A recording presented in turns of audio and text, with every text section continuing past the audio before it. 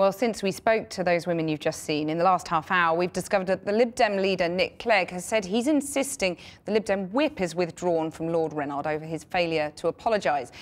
And we did ask the Liberal Democrats for an interview and attempted to contact every single one of the party's peers, but no one wanted to speak to us tonight. But with me now to discuss the wider impact on the party is the young Lib Dem activist Natasha Chapman and Anne McElvoy from The Economist. Natasha first, do you welcome this turn of events tonight? I think it's very important that uh, Nick Clegg has showed his support for those who were brave enough to come forward uh, and make these allegations. And I think it is important that he has signalled that the behaviour is unacceptable and that Rennard should apologise.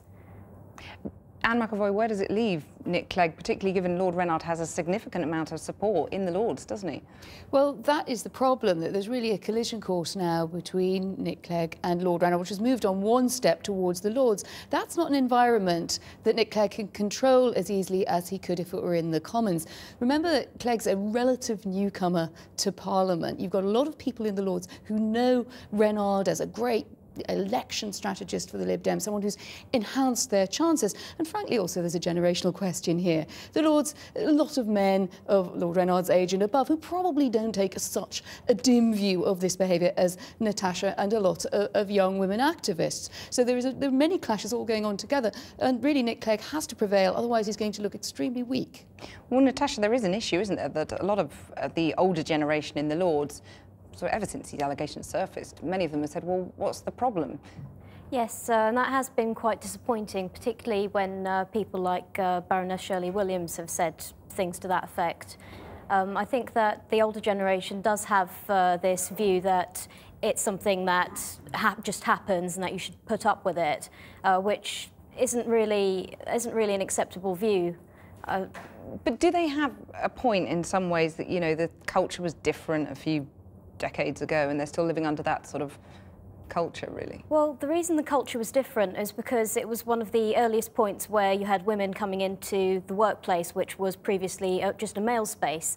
And uh, I think that even then, even though it wasn't viewed as such, it was still unacceptable to touch somebody against their will or against their wishes just because they happen to be female and that you happen to find them attractive isn't acceptable. But you see, I think a lot of people in the Lords, including a lot of women who are experienced at, at Westminster, one has to, uh, to grant them that, think, well, the young women themselves should have said, I'm sorry, up with this, I will not put, you know, that they shouldn't have stayed silent for so long and that, that, there was in some ways a kind of failure there. Now, I understand your position very well because I know that the, the pressure, particularly on women looking for seats who need preferment and need the support of people like Lord Rennard uh, in any party, not just him, they need these people to get on. They often don't come forward, but I think, you know, one has to remember that some people in the Lords will take that view.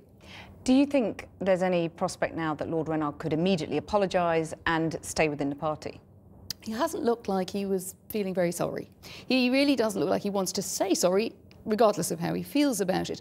I thought at one point that he might come forward. He still has this option with a slightly weaselly, I'm sorry if anyone was offended.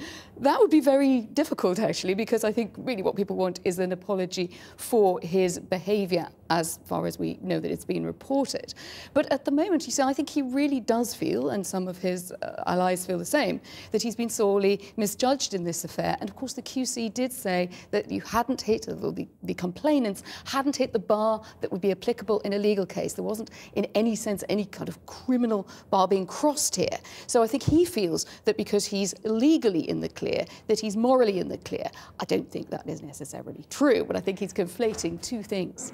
Natasha, Nick Clegg's basically issued an ultimatum to Lord Rennard and has been for several days, but that's stepped up a gear tonight. How do you think Lord Rennard will react to that? I'm not sure how Lord Rennard would react. I mean, obviously, we would quite welcome him um, actually making that apology, which was recommended by the QC for the distress he's caused. And would you be happy for him to stay in the party if he does that immediately?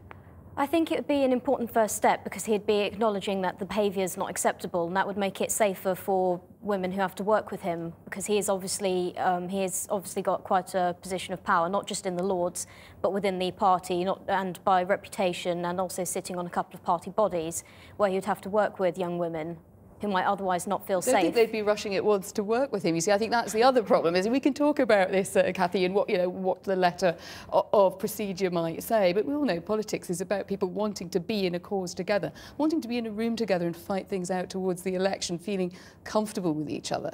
And once you reach this pitch of discomfort, I think Lord Rennard would probably say, if it was about someone else in the party, that it's not tenable.